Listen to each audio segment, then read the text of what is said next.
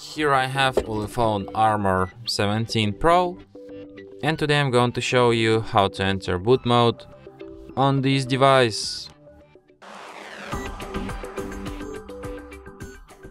So to do this, firstly you have to turn your device off by holding down power key, then tap shutdown, and after your device turns off completely, hold down combination of keys power key plus volume up at the same time for a couple of seconds like this, and after that you will end up in the boot mode. So here at the boot mode you can use volume up to navigate and volume down to select, and you have such options as recovery mode, fast boot mode and normal boot. So if you want to quit this mode, just select the last option normal boot and after that your device will be restarted, just as usual.